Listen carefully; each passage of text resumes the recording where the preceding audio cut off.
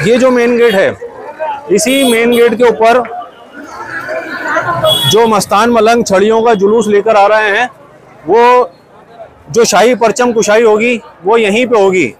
और इनशाला जब वो परचम कुशाई होगी तो वो मंजर भी हम आपको दिखाएँगे। अब यहाँ पे आप देख सकते हैं सामने की तरफ़, ये मेन गेट है हजूर ख्वाजा खाजगान का, जिसको ये नौबत खाना इसलिए बना रखा है क्योंकि पुराने वक्त में राजा महाराजा बादशाह लोग आते थे तो उनकी आमद के लिए यहाँ पे नौबत बजाई जाती थी और ये शाहजहां बादशाह के वक्त का बना हुआ है। उसे ही हम आगे बढ़ेंगे। तो राइट साइड में आपको एक बड़ी देग नज़र आएगी। ये अकबर बादशाह ने चढ़ाई है। जब उसने अकबरी मस्जिद बनवाई थी, उसी के साथ ही चढ़ाई थी और लेफ़्ट साइड में आप देखेंगे, ये लेफ़्ट साइड में छोटी देग है। ये जहांगीर बादशाह ने चढ़ाई है और दुनिया के जो सबसे बड़े बर्तन है, जो रेगुलर यूज़ में है, इतने सालों से लगभग साढ़े चार सौ, पाँच सौ साल से रेगुलर इसमें खाना बन रहा है। तो ये वही ये आप देख सकते हैं इस तरीके से यहाँ पे जो ज़ायरीन आते हैं, वो पानी यहाँ पे डलवाते हैं और इसी मशक में जो जिनकी मन्नत होती है, वो दूध वगैरह भी इसमें भर के यहाँ पे छुड़वाते हैं। तो ये बुलंद दरवाज़ा है, जिसकी हाइट लगभग बहत्तर फीट इसकी हाइट है सेवेंटी टू फीट इसकी हाइट है। और ये महमूद खिलजी बादशाह ने बनाया और जो 18 जनवरी को फ्लैग सेरेमनी होगी वो इसी दरवाजे के ऊपर जो सामने आपको मेन जो बीच में जो जगह दिख रही है, पाइप लगा है, वहाँ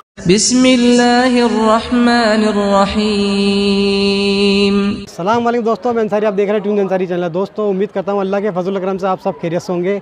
जैसा कि आपको मालूम है, हज़रत ख्वाजा मोइनुद्दीन हसन चिश्ती संजरी सुमुल अजमेर रहमत साहब के उर्स आठ सौ ग्यारहवें उर्स स्टार्ट होने वाले हैं। तो उसी की इंफॉर्मेशन मैं आपको देने वाला हूँ। जो इन्फॉर्मेशन देंगे, वो सैयद साबिर अली चिश्ती साहब देंगे, जो ख्वाजा साहब के खदीम साहब है। साबिर भाई के पास चलते हैं इन्फॉर्मेशन लेते हैं कि जो झंडे, जो फ्लैग सेरेमनी होती है, वो कब होती है और मस्तान मलंग जो झंडा लेके आते हैं कलिया शरीफ से अलम पेश करते हैं, यहाँ पर आके वो कहाँ पर होती है और किस दिन, किस तारीख को होती है और छोटा कुल कब है, बड़ा कुल कब है चांदरात कब है, बाबा फरीदगंज शगर अहमद साहब का चिल्ला मुबारक कब खुलेगा, जन्नती दरवाज़ा कब खुलेगा, ये तमाम मालूम तमाम जानकारी हम इस वीडियो में आपको देने वाले हैं। तो चलते हैं साबिर भाई के पास और तमाम मालूम तमाम जानकारी लेते हैं। अल्लाम दोस्तों, मैं सैयद साबिर अली चिश्ती दरबार ख्वाजा सरकार से। उम्मीद करता हूँ अल्लाह ताला के फजल करम से आप सब लोग खैरियत से होंगे। अल्लाह ताला आप सब लोगों को अपनी हिफाजत में रखे, अपनी पनाह में रखे, ज़मीनी, आसमानी बलाओं से और तमाम बुरी बीमारियों से आपकी हिफाजत फरमाएँ। दोस्तों, जैसा कि आपको मालूम है, हम अपने यूट्यूब चैनल में के ज़रिए आपको हर बार एक नई अपडेट देते हैं और हमने काफ़ी सारी अपडेट आपको दे दी है और इन हुजूर ख्वाजा खाजगान के उर्स में भी हम आपको तमाम अपडेट देते रहेंगे और जो छड़ियाँ आ रही हैं, कलिया शरीफ से पैदल उसकी भी अपडेट दी है और इन अभी सत्रह तारीख को जमादुल आखिर की सत्रह तारीख को जो दिल्ली से रवाना होंगी, छड़ी मुबारक का जुलूस जो रवाना होगा, वो उसकी अपडेट भी हम आपको देंगे। और आज अभी हम यहाँ पे हजूर ख्वाजा खाजगान की बारगाह में मौजूद हैं। और यहाँ आने का हमारा मकसद ये है कि आज हमको, हम आपको वो तमाम जगह बता देंगे, जहाँ पे फ्लैग सेरेमनी होगी और जो छड़ी मुबारक का जुलूस आता है। और वो जो शाही परचम लेकर आते हैं, वो कहाँ पे परचम कुशाई होती है और जमादुल आखिर की 25 तारीख को हुजूर ख्वाजा खाजगान की बारगाह में फ्लैग सेरेमनी किस जगह पे की जाती है, वो भी आपको दिखाएँगे। तो हुजूर ख्वाजा खाजगान के तमाम आशिकों को मैं ये मैसेज देना चाहता हूँ कि उनके इंतज़ार के दिन जल्द ही ख़त्म होने वाले हैं और हुजूर ख्वाजा खाजगान का जो उर्स मुबारक है, आठ सौ ग्यारहवा उर्स है 2023 में जो आठ सौ ग्यारहवा उर्स है, वो काफ़ी नज़दीक आ गया और कुछ ही दिन बचे हैं और 18 जनवरी को। यहाँ पे फ्लैग सेरेमनी होगी और वो किस जगह होगी मैं आपको बताने वाला हूँ। ये देखिए इस तरफ़। ये जो हम अभी जिस जगह पे मौजूद हैं, ये सहन चिराग का दलान कहलाता है और यहीं पे लंगर खाना है। बेगों के सामने जो दलान है और इस तरफ़ आप देखेंगे महफिल खाना है और इस तरफ़ वज़ू खाना है, जो क्वीन मैरी एलिजाबेथ की मदर ने बनवाया है। और ये जो महफिल खाना बनवाया है, सामने की तरफ़ आप देख रहे हैं। ये हैदराबाद के नवाब बशीरुद्दौला ने बनवाया उन्होंने मन्नत मानी। सत, उनके औलाद नहीं थी, लड़का नहीं था। तो फिर उनको लड़का हुआ हजूर ख्वाजा खाजगान की दुआ से, इनके करम से। तो उन्होंने ये महफिल खाना तामीर करवाया। और ये जो आप सामने देख रहे हैं इस तरफ़, यहाँ पे देखिए ये ये बुलंद दरवाज़ा है, जिसकी हाइट लगभग बहत्तर फीट इसकी हाइट है सेवेंटी टू फीट इसकी हाइट है। और ये महमूद खिलजी बादशाह ने बनाया और जो 18 जनवरी को फ्लैग सेरेमनी होगी वो इसी दरवाजे के ऊपर जो सामने आपको मेन जो बीच में जो जगह दिख रही है, पाइप लगा है, वहाँ पे फ्लैग सेरेमनी होगी यहाँ पे। और ये जो फ्लैग यहाँ पे चढ़ता है, ये भीलवाड़ा के गौरी परिवार की तरफ़ से चढ़ता है, उनकी मन्नत का है। और अनौपचारिक रूप से जो है, उर्स की शुरुआत हो जाती है फ्लैग सेरेमनी होने के बाद। और अभी हम आपको बताएँगे आगे जाके, जो छड़ी मुबारक का जो जुलूस आता है, जो छड़ियाँ लेकर आते हैं, मस्तान मलंग जो कि ये रस्म शुरू की हुई है हज़रत ख्वाजा कुतुबुद्दीन बख्तियार काकी रज़ी अल्लाह तआला की और हज़रत ख्वाजा कुतुबुद्दीन बख्तियार काकी रज़ी अल्लाह तआला जो हैं हुजूर ख्वाजा खाजगान के अव्वल खलीफा हैं और उनके जानशीन हैं। तो ये जो रस्म है छड़ी मुबारक की उन्हीं की शुरू की हुई रस्म है जिसको 800 सालों से उस टाइम में तमाम अलिया कराम जो मुरीदैन थे हजूर ख्वाजा खाजगान के इनके खलीफा थे वो जितने भी बुजुर्गानी दीन थे, वो उस रस्म को अदा करते थे और आज उस रस्म को 800 सालों से लगातार चली आ रही है। जो मस्तान हैं, मलंग हैं, कलंदर हैं, वो उस रस्म को अंजाम दे रहे हैं। तो अभी हम पहुँच चुके हैं जो निज़ाम गेट है। हुजूर ख्वाजा खाजगान की बारगाह का जो मेन गेट है, हम यहाँ पे अभी पहुँच चुके हैं।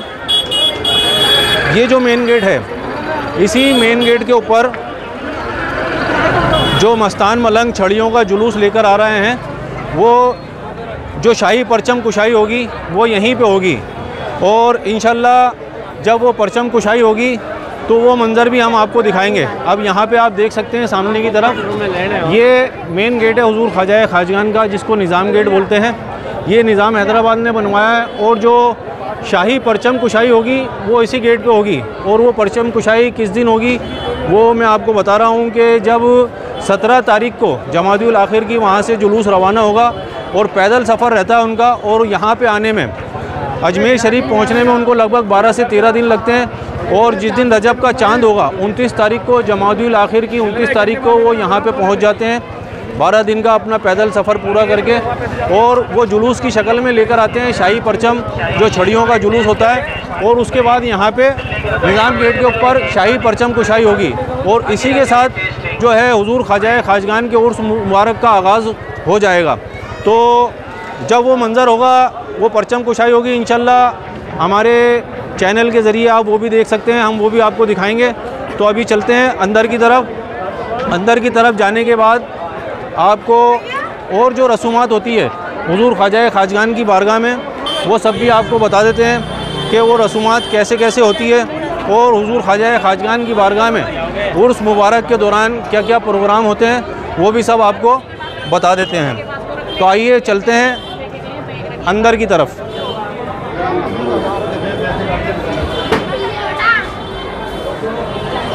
अब मेन गेट से जैसे ही आप अंदर आएँगे तो ये छोटा गेट नज़र आता है आपको। ये जो गेट है, ये शाहजहानी गेट है। ये शाहजहाँ बादशाह ने बनवाया है और इसके ऊपर नौबत खाना है, बना हुआ। यहाँ पे आप देखेंगे नौबत खाना है। ये नौबत खाना इसलिए बना रखा है क्योंकि पुराने वक्त में राजा, महाराजा, बादशाह लोग आते थे तो उनकी आमद के लिए यहाँ पे नौबत बजाई जाती थी और ये शाहजहाँ बादशाह के वक्त का बना हुआ है। और इस टाइम में अभी एट परसेंट अगर किसी मुल्क का कोई प्रेसिडेंट यहाँ पे आता है तब ये नौबत खाना नकारे यहाँ पे बजाए जाते हैं और हजूर ख्वाजा खाजगान की। बारगाह में जब रोशनी का वक्त होता है उस टाइम डेली यहाँ पे जो तो बड़े नगारे रखे हुए हैं ये डेली यहाँ पे बजाए जाते हैं। और इसके इस तरफ़ ही राइट साइड में आप देखेंगे ये अकबरी मस्जिद है अकबर बादशाह ने बनाई है। और ये बुलंद दरवाज़े के वहाँ पर अभी पहुँच चुके हैं हम जहाँ पर फ्लैग सेरेमनी होगी ये मैं बता चुका हूँ आपको। और यहाँ से जैसे ही हम आगे बढ़ेंगे तो राइट साइड में आपको एक बड़ी देख नज़र आएगी ये अकबर बादशाह ने चढ़ाई है। जब उसने अकबरी मस्जिद बनवाई थी, उसी के साथ ही चढ़ाई थी, और लेफ़्ट साइड में आप देखेंगे, ये लेफ़्ट साइड में छोटी देग है, ये जहांगीर बादशाह ने चढ़ाई है, और दुनिया के जो सबसे बड़े बर्तन हैं, जो रेगुलर यूज़ में हैं, इतने सालों से, लगभग साढ़े चार सौ, पाँच सौ साल से रेगुलर इसमें खाना बन रहा है तो ये वही दो बर्तन हैं, जो आज भी इसमें खाना बनता है, इसमें बड़ी वाली जो देग है, इसमें लगभग 120 मन चावल बनता है, और छोटी वाली देग में जो है, लगभग 60 मन चावल बनता है। इसमें ड्राई फ्रूट्स वगैरह केसरिया चावल होते हैं, मीठे चावल, वो बनाए जाते हैं। मीठे चावल इसलिए बनाए जाते हैं क्योंकि हुजूर ख्वाजा खाजगान की बारगाह में हर मज़हब के लोग आते हैं। इसलिए वो तबरुक के तौर पर प्रसाद के रूप में जो है ये चावल और ये तबरुक ले सकें और खा सकें, इसलिए मीठे चावल बनाए जाते हैं। ये आप देखेंगे ड्रम, जब इसमें खाना बनता है तो इस ड्रम में निकाल दिया जाता है। लोग यहाँ से लेकर चले जाते हैं। इसमें लगभग अभी दो दिन से खाना बन रहा है। और वो यहाँ पे जो ज़ायरीन आते हैं, वो यहाँ से खाना लेकर चले जाते हैं। और ये जो बर्तन हैं, दोनों जो देगे हैं, जिसको कोल्ड कोल्ड्रोन्स भी बोलते हैं, लोग कढ़ाई भी बोलते हैं, ये मैंने आपको बता दिया है, इसमें जो खाना बनता है। और अभी यहाँ से हम आगे बढ़ेंगे। ये एक छोटा गेट आएगा, हम शाहजानी मस्जिद के करीब में पहुँच चुके हैं। और इस तरफ़ में देखेंगे लेफ़्ट हैंड साइड में तो ये हजूर गरीब नवाज़ की बीबी साहिबा का मज़ार है यहाँ पे, हुजूर ख्वाजा खाजगान की। दो वाइफ थी, दो बीबियाँ थीं, दोनों के मज़ार यहाँ पे हैं। एक का नाम है बीबी उम्मतुल्ला एक का नाम है बीबी असमतुल्ला वो लोग यहाँ पे पानी छुड़वाते हैं, जो मन्नत मान के जाते हैं, पानी की मशक, और बच्चों वगैरह के लिए मन्नत मान के जाते हैं तो वो दूध की मशक भी यहाँ पे छुड़वाते हैं। ये आप देख सकते हैं, इस तरीके से यहाँ पे जो ज़ायरीन आते हैं, वो पानी यहाँ पे डलवाते हैं और इसी मशक में जो जिनकी मन्नत होती है वो दूध वगैरह भी इसमें भर के यहाँ पे छुड़वाते हैं।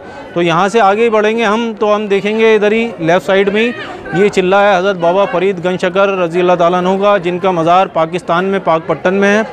और मुहर्रम की चार तारीख को साल में एक बार ही खोला जाता है जब वहाँ पर पाकिस्तान में उर्स होते हैं। और इस तरफ़ आप देखेंगे ये शाहजहानी मस्जिद है, शाहजहाँ बादशाह ने बनाई है। ये पूरे मार्बल पत्थर की बनी हुई है, संग मरमर जिसको बोलते हैं, और उस टाइम का ये संगर मरमर है, और काफ़ी बड़े बड़े पत्थरों से ये बनाई गई है। इसलिए इसको काफ़ी खूबसूरत तरीके से और अच्छे तरीके से आप बनाया गया है, आप देख सकते हैं। और ये जब शाहजहाँ बादशाह ने इस मस्जिद को बनवाया था तो इसको बनाने में लगभग ऐसा बताते हैं, जैसा कि बुज़ुर्ग बताते हैं, और लोगों से सुना है कि ढाई लाख उस वक्त में सोने की अशरफियाँ खर्च की गई थी इस मस्जिद को बनाने में। अब हम यहाँ से आगे बढ़ेंगे तो आगे की तरफ़ देखेंगे हम कि ये एक हजूर ख्वाजा खाजगान के आस्थान मुबारक से बाहर निकलने का गेट है, जो एग्ज़िट गेट है ज़्यारत करके जो लोग बाहर निकलते हैं, और इसी की बगल में यहाँ पे आपको ये जो नज़र आ रहा है, ये जन्नती दरवाज़ा है। अब मेन बात यह है कि हुजूर ख्वाजा खाजगान के उर्स मुबारक में जो जन्नती दरवाज़ा खोला जाता है, ये सबसे ज़्यादा छः दिन तक खुला रहता है। और ये जन्नती दरवाज़ा जिस दिन चाँद होगा, उस दिन खोल दिया जाता है हुजूर ख्वाजा खाजगान की बारगाह में अंदर जाने के लिए। और जिस दिन जन्नती दरवाज़ा खोला जाएगा और जिस दिन चाँद होगा, उसी दिन से हुजूर ख्वाजा खाजगान के मज़ार मुबारक को गसल देना शुरू कर दिया जाता है।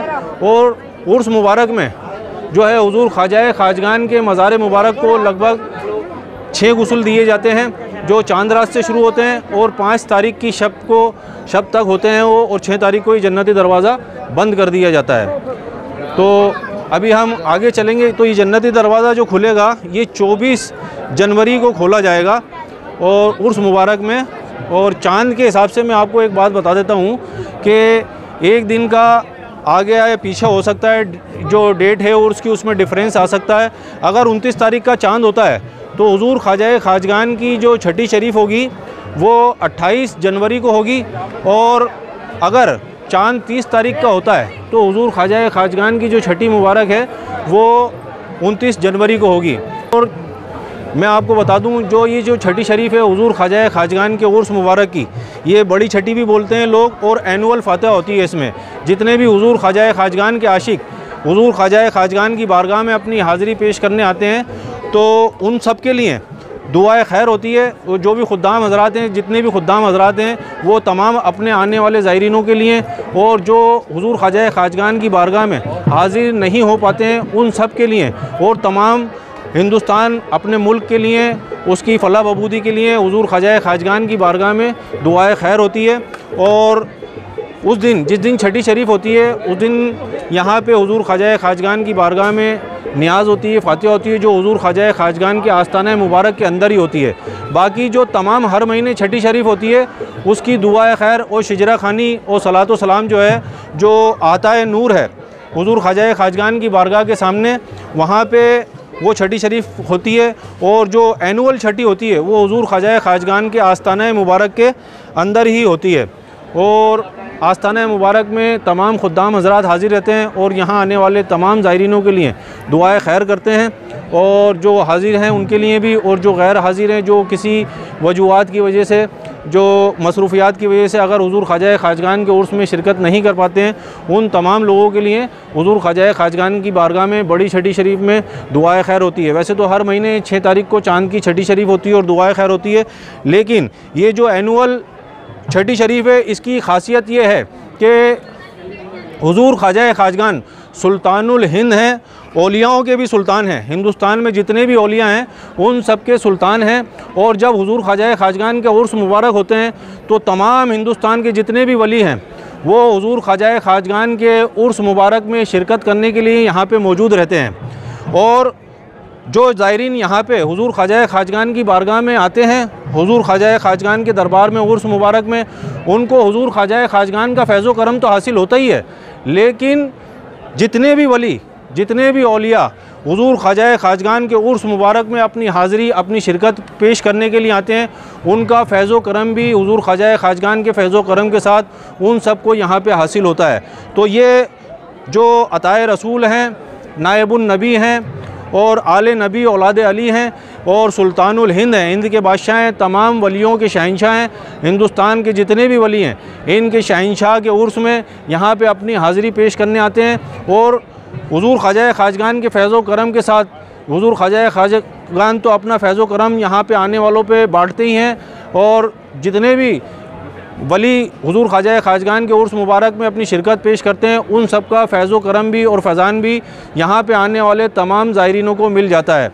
तो ये एनुअल जो छठी होती है, उसकी जो उर्स मुबारक की खासियत ये है कि यहाँ पे जो है तमाम वलियों के और हजूर ख्वाजा खाजगान के फैज़ करम से आने वाले यहाँ पर माला माल होते रहते हैं और उनके ऊपर जो यहाँ पर हाज़िर होते हैं, साल भर हजूर ख्वाजा खाजगान का और तमाम अलिया कराम का फैज़ करम जारी और सारी रहता है और वो ज़मीनी आसमानी बलाओं से वो तमाम परेशानियों से महफूज रहते हैं।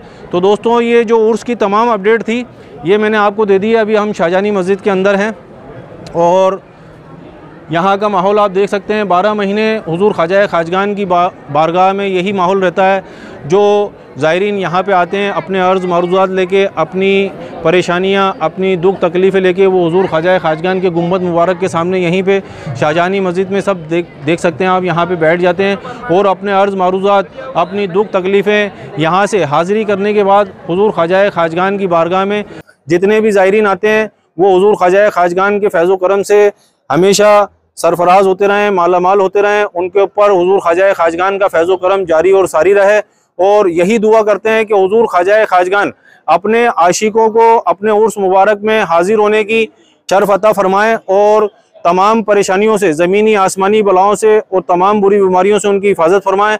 अपने करम के साय में रखें, अपने दामन पाक के साय में रखें और जो लोग नहीं हाजिर हो सकते हैं या किसी मसरूफियात की वजह से, किसी परेशानी की वजह से, वो लोग जो हजूर ख्वाजा खाजगान के उर्स में नहीं हाजिर हो सकते हैं, हम उनके लिए भी दुआ गो हैं हजूर ख्वाजा खाजगान उनको भी अपनी बारगाह में पेश होने का, हाजिर होने का और हाजिरी पेश करने का शर्फ अता फरमाए।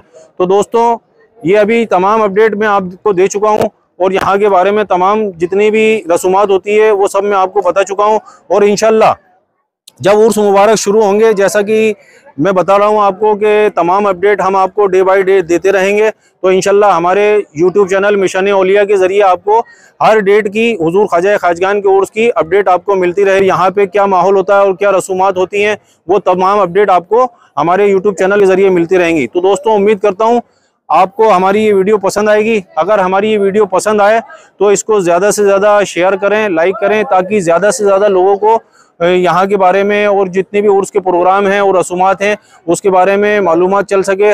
और अगर आप हमारे यूट्यूब चैनल में नए हैं तो सब्सक्राइब करके बेलाइकन ज़रूर दबा दें ताकि हमारी आने वाली हर वीडियो की मालूम और नोटिफिकेशन आपको मिल सके।